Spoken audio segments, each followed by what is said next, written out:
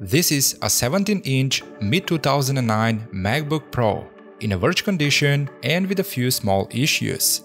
Hey, what's up everyone, I'm Andrew and in this video we're gonna make a few changes, a few upgrades and we will go a little bit further, beyond the limits.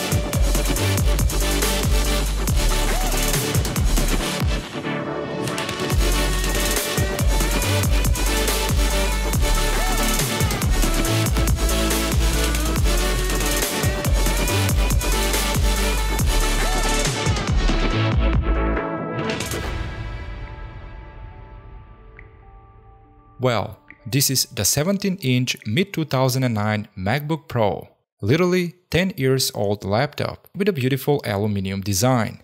I got this MacBook in a Verge cosmetic condition with a Verge specs and with a few small issues. This MacBook has a 4 gigs of DDR3 RAM.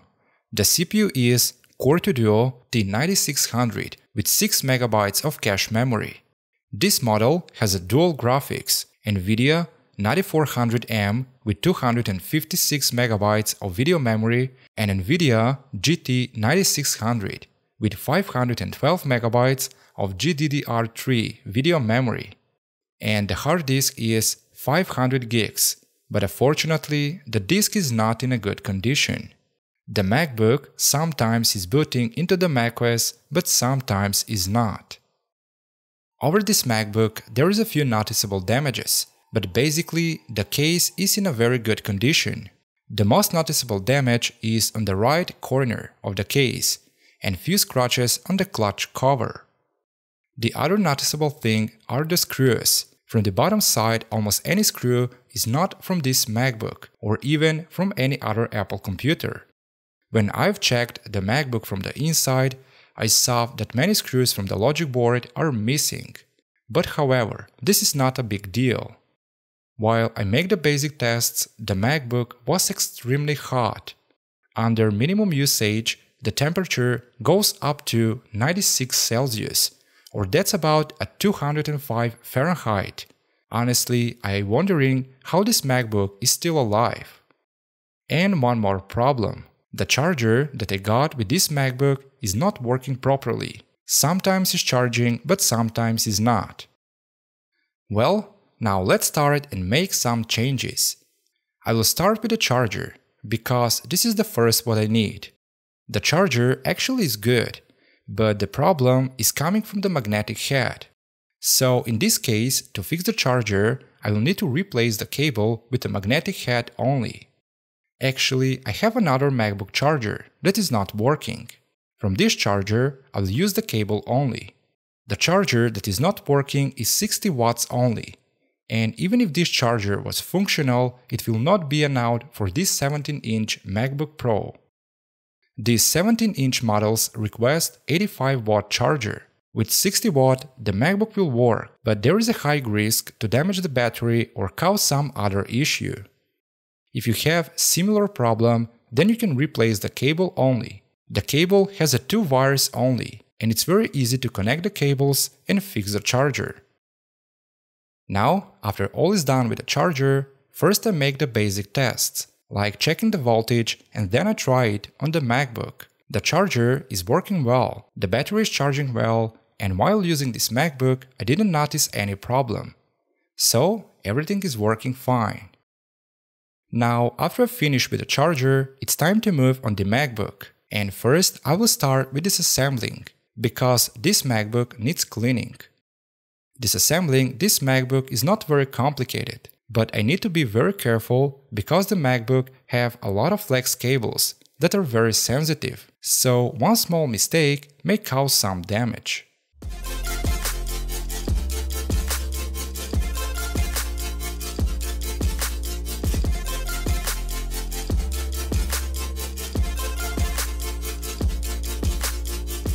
While disassembling, when I remove the cooling fans, I saw why this MacBook working temperature is so high. The airflow is full of dust from the outside and from the inside, so basically the hot air cannot go out of the case.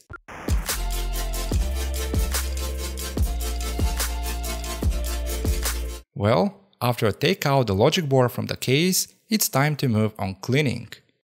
First, I will start with the logic board. I will remove the heatsink and I will clean the logic board from the dust and dirt.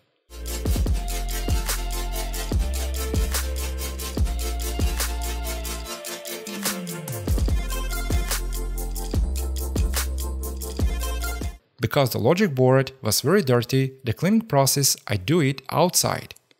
Also, to clean the logic board, I used a soft brush. Well, after I cleaned the logic board, now I will remove the old thermal paste from the CPU and the GPUs. At this point, I have to be very careful, because the thermal paste is totally dry, and it's like concrete. The CPU is not problem to clean, but the GPUs are difficult to clean.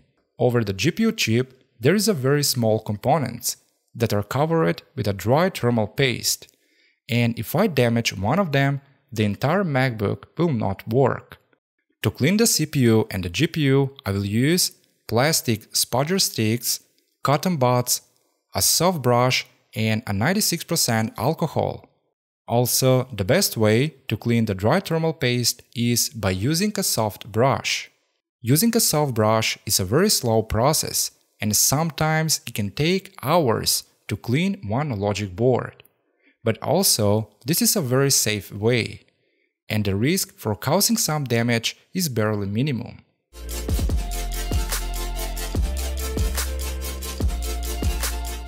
Well, after finish with cleaning the logic board, it's time to clean the heatsink and the cooling fans. First, I will clean the heatsink from a dry thermal paste and dust, and then I will clean the cooling fans.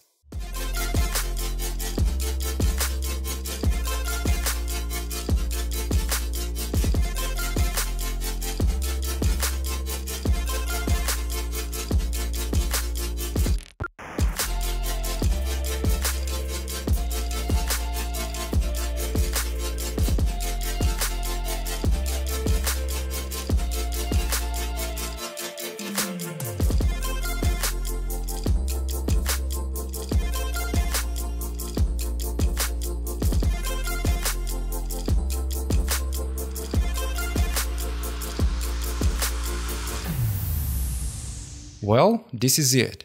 And now everything is looking much better than before. The logic board is like a new, without dust, but also the heatsink and the cooling fans are looking great again. Now, before I continue with anything else, I will apply a thermal paste and I will mount the heatsink on the logic board.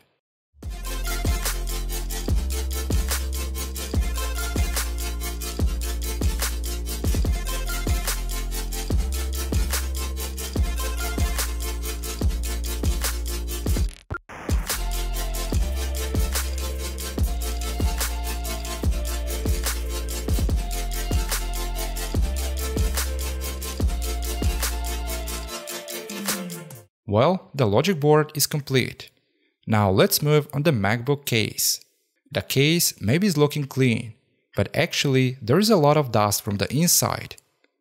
So here, first I start to remove the dust using a brush, and then I continue with cleaning the other components using cotton buds, soft cleaning cloths and 96% alcohol. Also, at this point I had to be very careful to not cause some damage like to damage some flex cable, the keyboard and the other components. This is a very slow process, but however, at the end I remove even the tiniest dust from the case. and from the other components. The bottom case that is without any electronics, I wash it using soap and water. Actually, that was the only way to remove the dust completely. Also the bottom case is made from aluminium and it won't rust. Now, after I clean the MacBook from the inside, it's time to mount the logic board in the case. At this point, also I had to be very careful to not damage some of the flex cables.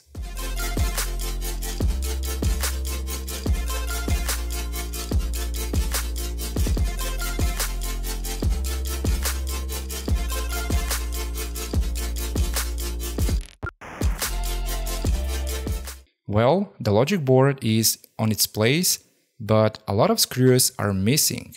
The only thing that is holding the logic board in the case are the screws from the fans and the flex cables. But for a lock, I have some screws from a newer but non-working MacBook. And these screws are fitting well on this MacBook Pro.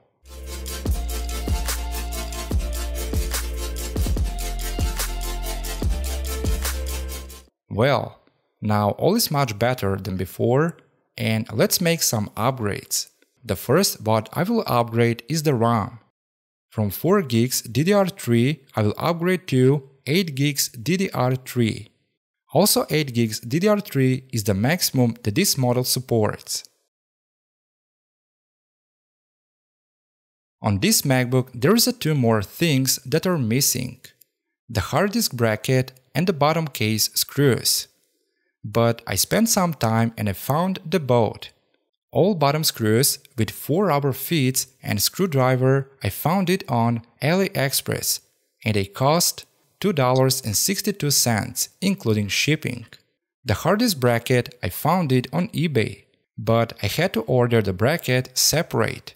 The reason, in one part the bracket cost $25 more than if I order the bracket in a two parts from a two different sellers. Now let's back on the MacBook and I will mount the old hard disk because this hard disk has an operating system and later I will use it to create the USB installer. But however, later we will change to SSD. Well, after I finish with cleaning from the inside, it's time to clean the MacBook from the outside. And first I will start with a keyboard. This MacBook looks clean, but actually there is a dust under the keyboard and over the case. To clean the keyboard, I will use a cotton buds, few soft cleaning cloths and 96% alcohol. While cleaning the keyboard, I had to be very careful to not damage some key or cause some other damage. The keyboard is very sensitive to clean. Even small drops of any kind of liquid including pure alcohol, may damage the entire keyboard. I mean, if the liquid passes to the inside. Well, the keyboard is looking great, and now let's move on the display. To clean the display, I will use 96% alcohol, but mixed with a glass cleaner. Also, I will use cotton buds for the corners and few soft cleaning cloths.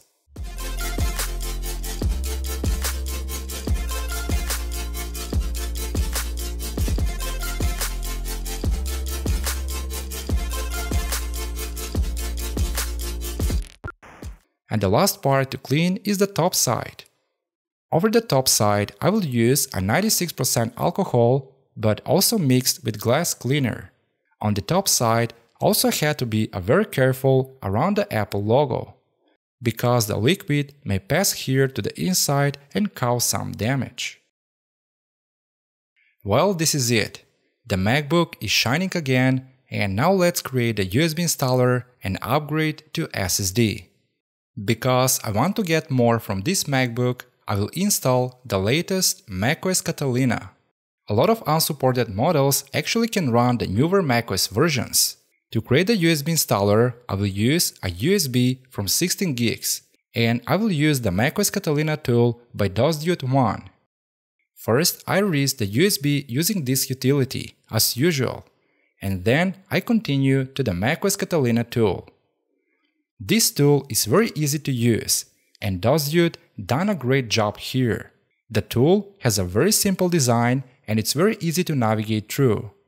Also, after installing macOS Catalina, I don't need to apply any patches manually. Actually, everything is going automatically and it's very easy to do it. Well, now after I create a USB installer, I will remove the old hard disk and I will install a new 256 gigs SSD.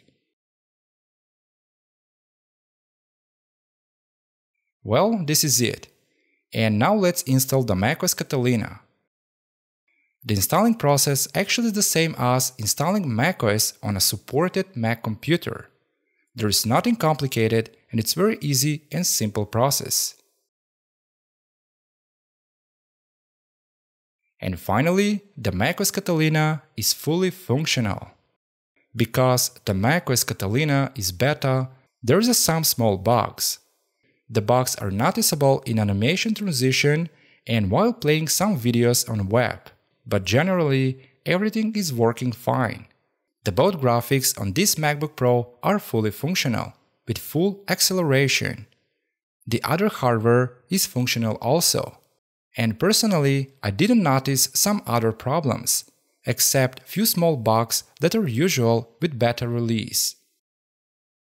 Also on this MacBook, I install a Final Cut Pro and Adobe Premiere because I want to test this MacBook in video editing. The both applications are running smooth, which is very surprising. The 1080p video editing is possible, but it's going a little bit slow. But a 4K, not really. Maybe some are very short clips, but that's will going to be a very slow. But also, this MacBook is great for doing the other things. It's great for making some artworks, multimedia, browsing the web and all other basic things. Also this MacBook, it still has a beautiful and modern design. It has a large display with 1920 x 1200 resolution and the display provides a great and quality image. The keyboard is with backlight, so typing in a low light or in a dark it won't be a problem. However, I didn't stop here and I test the other macOS versions, like the macOS Mojave and the macOS High Sierra. The both operating systems are working perfectly on this MacBook, without any lags or any other problem. The Mac animations, web browsing, watching videos, and everything else is going perfectly smooth, which is not bad for a 10 years old laptop. And one more thing. On this MacBook Pro, I've tried to use eGPU, and it's fully possible. Officially, to use eGPU on a MacBook, you need Thunderbolt connection. But unofficially, the eGPU is working over the Express card connection, I mean on these older models. To connect desktop GPU on this MacBook, I used EXP GDC 8.5C dock and Express card cable but unfortunately, not any GPU is supported. I test this MacBook with three different GPUs, with NVIDIA GT 9600 with 1 GB of video memory, NVIDIA GTX 960 with 4 GB of video memory, and AMD RX 580 with 8 gigs of video memory. The best results, but just for now, I got it under the macOS High Sierra under the macOS High Sierra, the NVIDIA GT9600 is out-of-the-box supported. I mean, I don't have to use some drivers or anything else. Just I need to connect the GPU right after starting the MacBook. But also, I had to use an external monitor. The GPU is fully recognized, just it shows like a different model. But there is no any hardware issues. The GPU is working perfectly and with full hardware acceleration. The NVIDIA GTX 960 is not always working under the High Sierra. Also, for this GPU, I used NVIDIA web drivers, the LiluKext and NVIDIA Graphics FixUp Kext. I made a dozen tests, and I got this GPU only two times working. But shortly after connecting the GPU, the GPU stopping working by itself and is disconnecting automatically.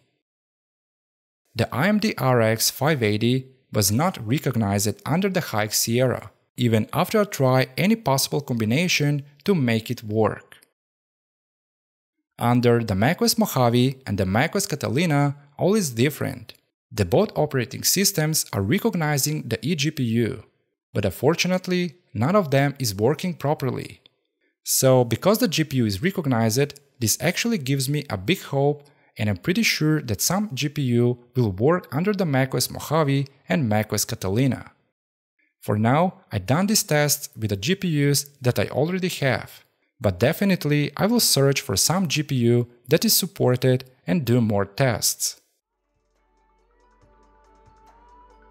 Well, basically this is all about this 10 years old 17 inch mid 2009 MacBook Pro.